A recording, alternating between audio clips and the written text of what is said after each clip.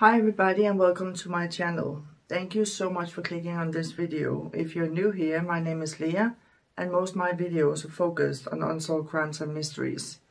If you're a returning subscriber, welcome back. So I'm making a short video because there has been an update on the two missing moms from Kansas, Veronica Butler and Jillian Kelley. I've been waiting and waiting and waiting for some updates about the case. And I have to be honest, I, I was 100% sure that they were going to return home. They're mothers. They have babies. Of course nobody's going to hurt them. So I saw an update today that just completely floored me and I'm gonna share that update with you. So if you're ready, let's do this.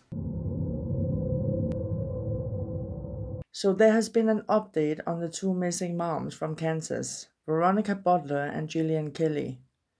The two women drove out on Saturday, the 31st of March, to pick up Veronica Butler's two children at the Four Corners.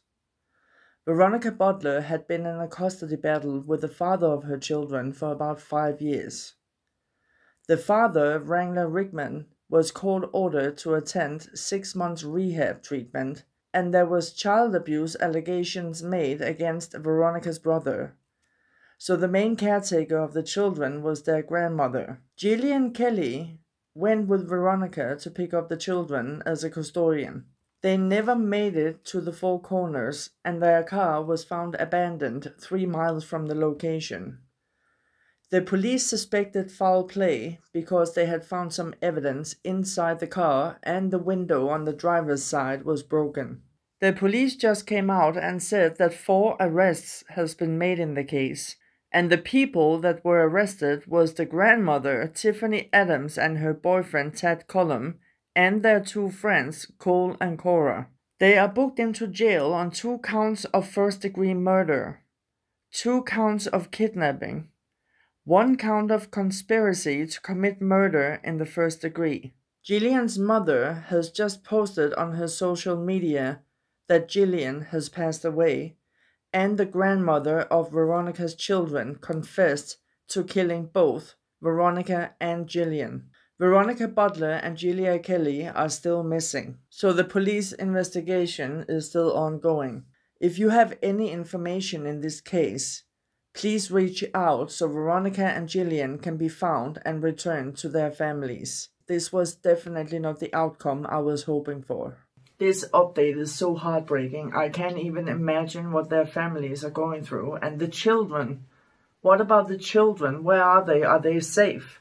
And from what I've seen, Tiffany Adams already confessed to the murders of Veronica Butler and Jillian Kelley.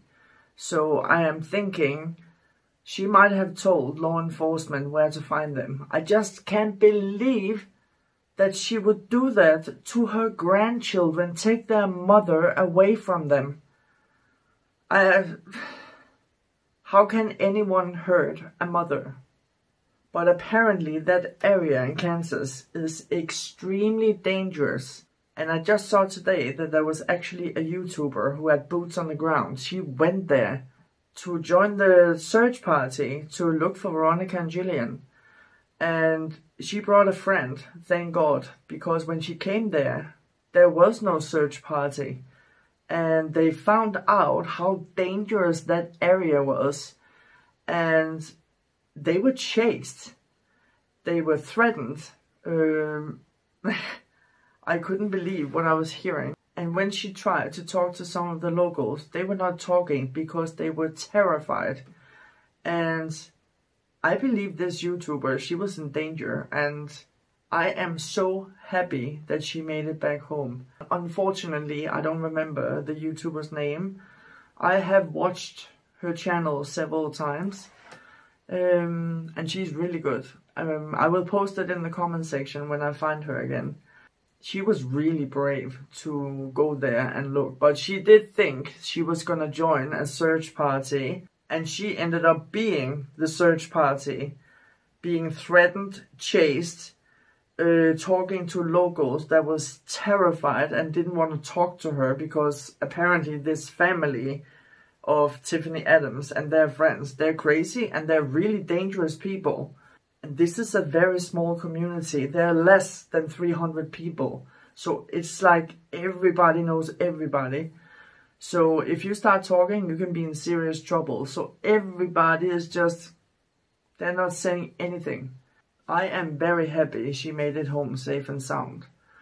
Pooh, my heart really breaks for those two children because they're innocent, they're small babies. What are they gonna do now? Where are they gonna stay? First they stay with their father, then they stay with the mother, then they stay with the grandmother. Now their father is in rehab, her, their mother has been murdered, and their grandmother is in jail.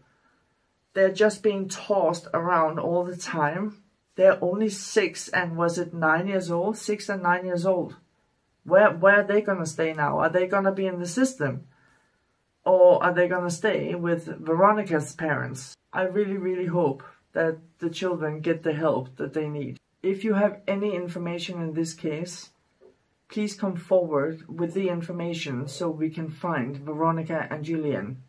You don't have to come forward with your name or anything. You can do it completely undercover so nobody knows your identity. My condolences and prayers go out to the families and I, I can't even imagine what they're going through. This is so devastating and heartbreaking. So that's it for today's video. Until the next one, take care and stay safe. Bye.